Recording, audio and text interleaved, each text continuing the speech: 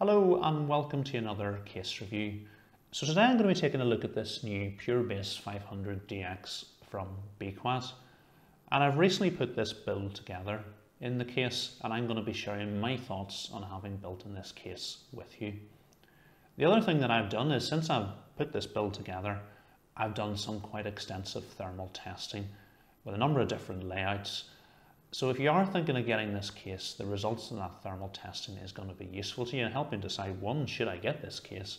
And two, if I do get it, what's the best way to lay out my components to get the most out of this case? So before I come on to that, I want to highlight what is different with the new DX version of this case compared to the original Pure Base 500. And I think the most obvious change is the large mesh front panel on the case. So Be Quiet have gone a slightly different direction with the DX version of this case compared to the original Pure Base 500 and they've tried to optimize it as much as possible for airflow and the new mesh panel is a major part of that. The other thing that they've done is the original Pure Base 500 came with an interchangeable top panel. So you had a solid top panel but also a mesh top panel. Whereas the new Pure Base 500 DX only comes with a mesh top panel. And again, that makes sense. If you're going to have a case which is optimized for airflow, you're not going to want a solid top panel on it. The other thing that you're going to notice right from the front of the case is that now includes two addressable RGB strips down the front panel. So these addressable RGB strips can be controlled. There's a little button on the top panel that lets you cycle through all the different addressable RGB modes. There's also a connector which allows you to plug this into your motherboard and allow your motherboard to control the lighting on the front panel of the case. Not quite as obvious, but there is a second addressable strip along the top front of the case, just in front of the top fans. So again, if you're going to go with the standard fans that come with this case, which don't include any RGB, that's going to add a nice little bit of light on the top of the case. So again, a useful feature as well as including included on the front of the case. Other things that you're going to notice that are different, we've now got a USB 3.1 Type-C connector on the front panel, although it has come at the expense of one of the 3.0 Type-A connectors. The original Pure Base 500 had two Type-A's, we've now got one Type-A and one Type-C. Um, the new case also comes with three 140 millimeter Pure Wings 2 fans, whereas the original Pure Purebase 500 only came with two of the fans. So in essence, you're getting a mesh front panel with addressable RGB, you're getting an extra fan, and you're getting a Type-C connector. Okay, so now I want to come on to my thoughts on having built in this case, starting off with what I liked. And the first thing I liked about this case is the build quality. This is a really well put together case and all the parts feel really premium. I had no issues with uh, through skredding, paint coming off the case as I'm screwing in and out the fans a number of times as I've done a number of different configurations for the thermal testing. All the panels went on really well. The back panel has a good design where it slides and locks. There's a nice um, bracket that hides the cables on the front and hides the, um, particularly the cables coming out of the hard drive. The mesh panel on the top just slots into place. You're not having to fiddle with it to line things up.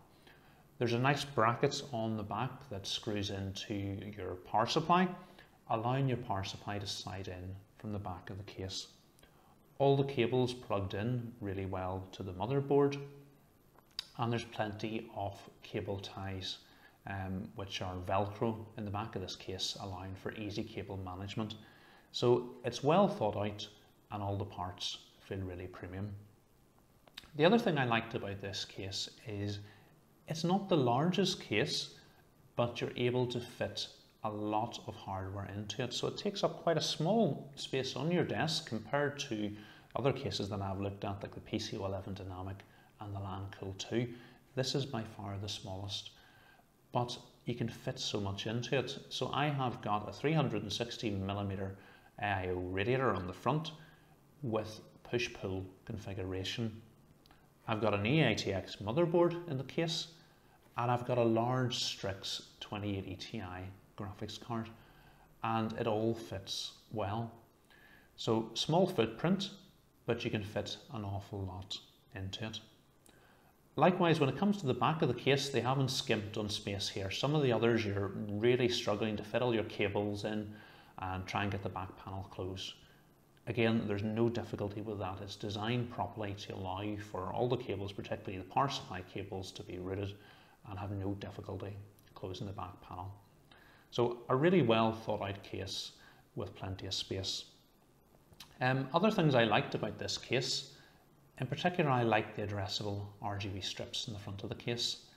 I think these look absolutely great. I'm not a big fan of lots of flashing multiple colours, but I, I think the white that I've got this set to looks good. Again, I like the little strip along the top. Um, I've gone for addressable RGB fans, but if you were going to use the standard fans that don't have any RGB, that little bit of light at the top just shows off your components really well. So that was smart.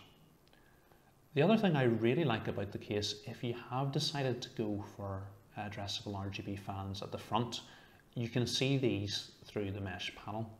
And this looks absolutely great on this build. Again, something I wasn't expecting. Again, if you want to go with the standard black fans, and there's no reason not to, they do a, a great job at cooling the case and keeping noise to a minimum, you're going to have the ability to add some light to the front of the case with the two RGB strips. So you can win either way, no matter what way you decide to use components in this particular case.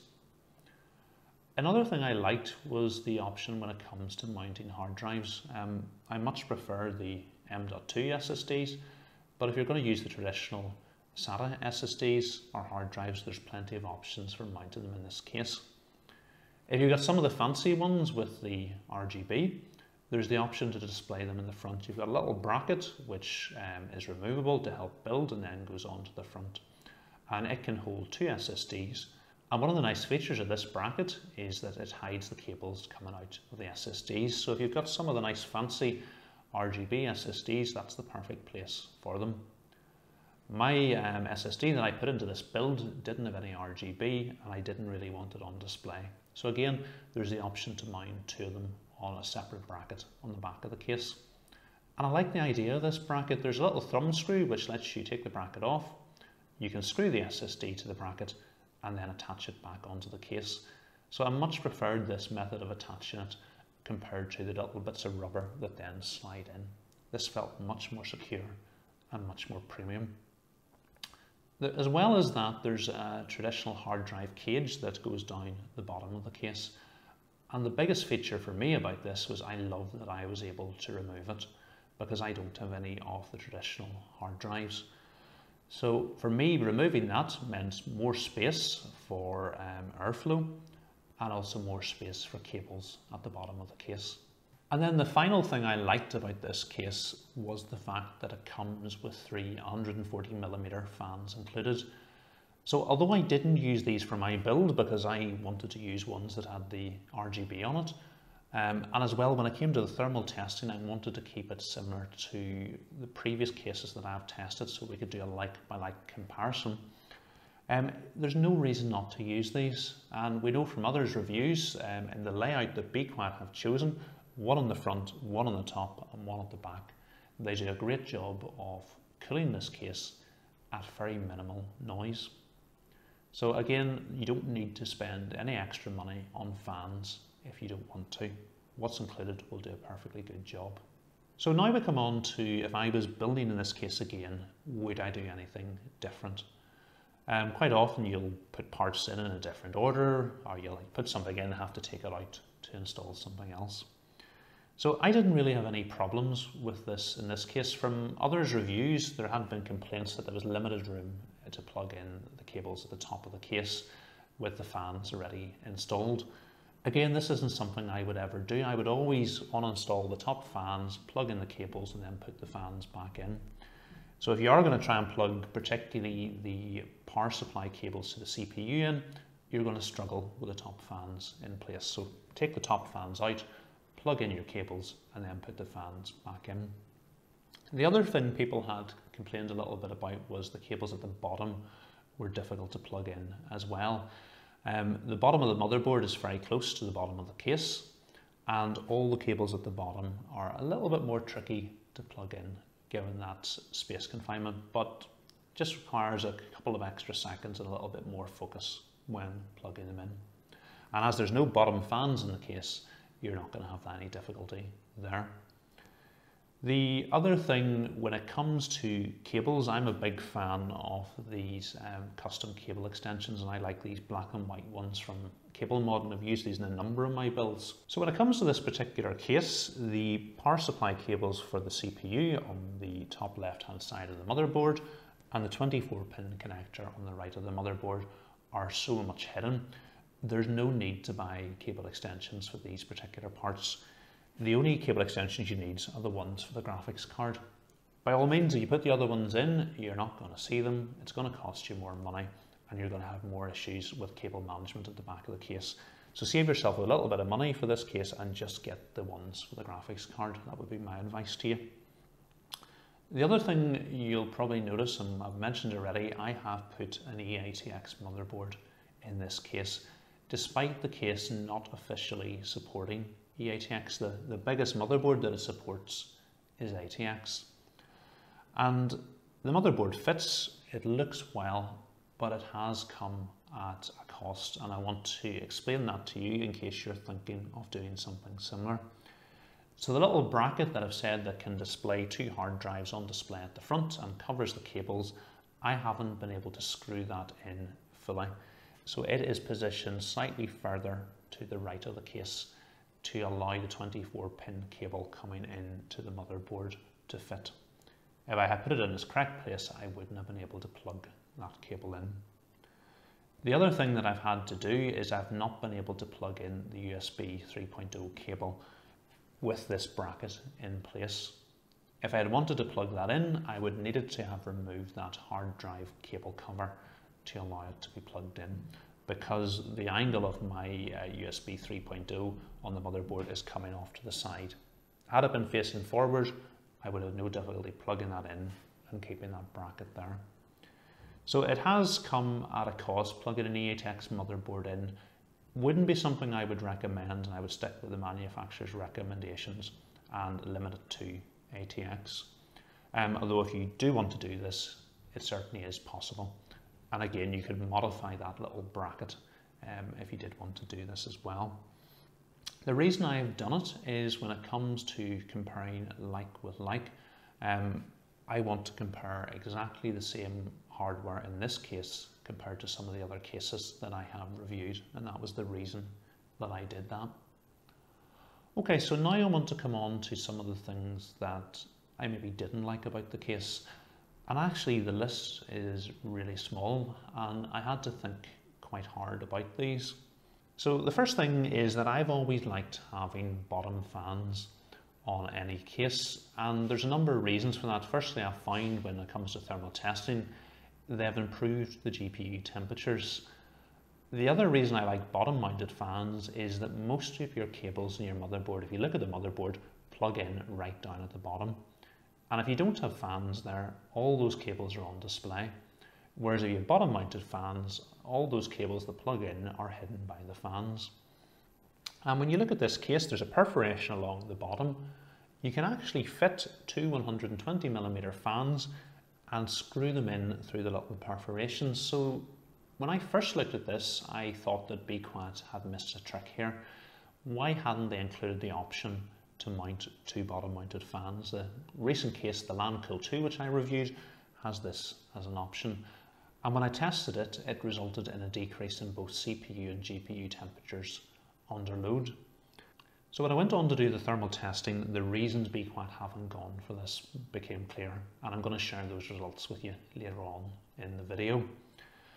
Although the fact that there's no bottom fans, I do have one complaint, and that is the multicoloured HD audio cable that plugs into the bottom left hand corner of the motherboard is fully on display at the bottom of the case. So in my opinion, if you're going to go for a case that doesn't include any fans at the bottom, you should have some sort of sleeving over those multicolored cables because nobody wants to look at that. Um, they'd be much better all in black. And then I suppose the only other negative is the sacrifice of a USB Type A for the addition a USB Type C on the front panel. Um, I would much rather have kept both the Type A's on the original Pure Base 500 and added the Type C rather than swapping them. However, if you were going to give me the choice of um, two Type A's versus a Type A and a Type C, I'll pick the Type A and the Type C. Um, if I'm being picky, I would much rather have had both. When it comes to the ARGB, I think this is brilliant. It's one of the case's best features. The only way to maybe make it slightly better in a future revision would be to include a little connector that allows you to expand this. Some other cases that work in a similar way have done this. So if your motherboard doesn't have addressable RGB, you can plug into here and then I'll use your uh, case itself as a controller for other RGB components in the case. Okay, so going on to look at the thermal performance of the case. So before I go on and give you the results, um, I think it's important to explain how I do my thermal testing. So the first thing is I have the ambient temperature controlled to 20 degrees C and I don't modify any of the default fan curves that come with the motherboard. So they're all running at stock. And then I test three different things. So I get the idle temperatures by letting the PC run in Windows with no programs in the background and record the minimum CPU and GPU temperature over a 30 minute period. The next thing I do is I play um, Assassin's Creed Odyssey for 30 minutes and record the maximum CPU and GPU temperature during that 30 minute period. Finally, I run an AIDA64 stability test with all components in the PC being stressed and record the maximum CPU and GPU temperature during that 30 minute period. Okay, so let's have a look at the results. Okay, so the minimum CPU idle temperature was 35 degrees C and the minimum GPU idle temperature was 31. During 30 minutes of gaming, the maximum CPU temperature reached 61 degrees C and the maximum GPU temperature was 68. During the 30 minute AIDA64 stability test, the maximum CPU temperature was 81 and the maximum GPU temperature 68 degrees C. Okay, so now I want to go on and compare the results with the Pure Base 500DX to two other cases that I tested recently, and they are the LANCOOL 2 and the PCO11 Dynamic. So looking at the idle temperatures first of all, so the LANCOOL 2, the CPU ran 1 degree hotter at idle at 36, and in the PCO11 Dynamic it was exactly the same temperatures as the Pure Base 500DX at 35 degrees C. GPU again in the LANCOOL 2 also ran 1 degree hotter at 32 degrees C, where the PCO11 Dynamic was 1 degree cooler at idle at 30 degrees C. During the 30 minutes of gaming, there was a big difference in the CPU temperatures with the Pure Base 500DX being the clear winner. Um, the CPU temperature of 61 in the Pure Base 500DX was a whopping 7 degrees cooler than the 68 we got in the LANCOOL 2 and 6 degrees cooler than the PCO11 Dynamic at 67 degrees C. Looking at the GPU temperatures again, the Pure Base 500DX was the winner here at 68, which was 2 degrees cooler than the LANCOOL 2 at 70 degrees C, and a whopping 7 degrees cooler than the PCO11 Dynamic at 75 degrees C during the same tests. Um, going on to look at the AIDA64 stability test, and again, the Pure Base 500DX was again the clear winner here uh, on both CPU and GPU temperatures. So the maximum CPU temperature of the Pure Base 500DX was 81 here, which was 6 degrees cooler than the LANCOOL 2 and 3 degrees cooler than the PCO11 Dynamic. GPU temperatures of 68 in the Pure Base 500DX were 1 degree cooler than the LANCOOL 2 and a whopping 6 degrees cooler than the PCO11 Dynamic. Okay, so I think from the results of that thermal testing, it's very clear that Be Quiet have done a great job with this case. And I've got some of the best temperatures I've been able to out of the same components in this case that I have in two of those other cases. Now, some of you who watched my previous builds will be pointing out a pretty obvious difference in those builds and that is that in this build I've gone with a push-pull configuration on the radiator whereas in the other builds I only had a pull configuration on the radiator. So did that make any difference? And this is something that I have tested. So I took three of the fans off the radiator and left the radiator just in a pull configuration with three LL120 fans on it and compared this to my original build and push-pull. So taking the three fans off meant that the idle temperatures on the CPU ran one degree hotter at 36 and the GPU also ran one degree hotter at 32 degrees C. During the AIDA64 stability test, the CPU ran 3 degrees hotter at 84 degrees C, while there was no difference to the GPU temperature remaining at 68 degrees C. So definitely the push-pull configuration did improve the CPU temperatures, but how does that new configuration compare to the other two cases? So the um, idle temperatures of 36 and 32 for the CPU and GPU respectively were exactly the same as the LAN-COOL 2, whereas the PC11 dynamic ran slightly cooler at idle, 35 and 30. During the AIDA64 stability test with just the pull configuration on the Pure Base 500 DX, it was still the winner. It had a maximum CPU temperature of 84 degrees C compared to 87 and the GPU ran 1 degree cooler as well at 68 compared to 69. When it comes to the CPU temperature and the PC11 dynamic, they were exactly the same in this configuration. However, there was a massive difference in GPU temperatures, uh, 68 versus 74 in the PC11 dynamic. Okay, so even taking three of the fans off the radiator, the um, Pure Base 500 DX is still the winner out of the three cases when it comes to thermals. And again, this serves as a good example as well. People are often asking, how much will I reduce my CPU temperatures by adding push-pull on my radiator? And the answer to this is under load, you'll save 3 degrees on your CPU temperatures and no difference to your GPU temperatures. Okay, so the next thing I wanted to do was test and see if removing the front dust filter would make any difference to the temperatures. Um, certainly looking at other people's reviews, a few people are saying that you could actually take the front dust filter out because the mesh panel on the front of the case will limit dust flow. Um, I'm not so sure it will. The holes in the front mesh of the case are actually quite big, where the holes in the dust filter are actually quite small. So taking the dust filter off uh, reduced the CPU idle temperature down to 34 from 35 in the standard configuration and made absolutely no difference to the GPU temperature at idle. CPU temperature under load, again no difference with the dust panel off, uh, 81 degrees C, and you save one degree on the GPU temperatures down to 67 from 68. So again, my results are a little bit different to what others have found with removing the dust filter. Others have found removing it gets a good reduction in CPU temperatures, and the only thing I can think to explain that is the push-pull configuration on the radiator is overcoming the resistance caused by the dust filter. So if you're going to go push-pull on the front, I would leave the dust filter in, keep your PC free of dust, and it's going to have minimal effect on thermal performance.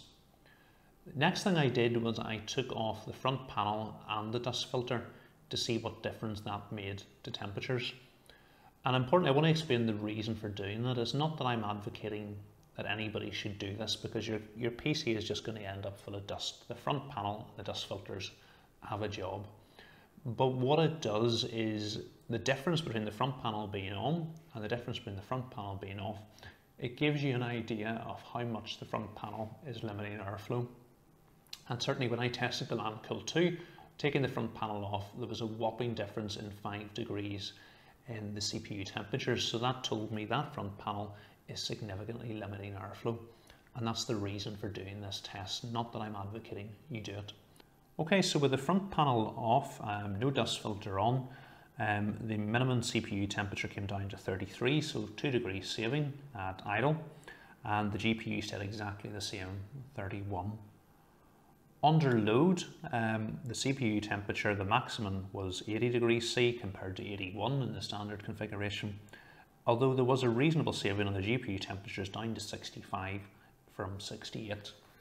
Okay, so what does this tell me? It tells me that with a push-pull configuration on a radiator on the front of this set as intake, the front panel is causing minimum limitation to airflow because removing it and removing the dust filter, you're only going to save one degree on your maximum CPU temperature under load.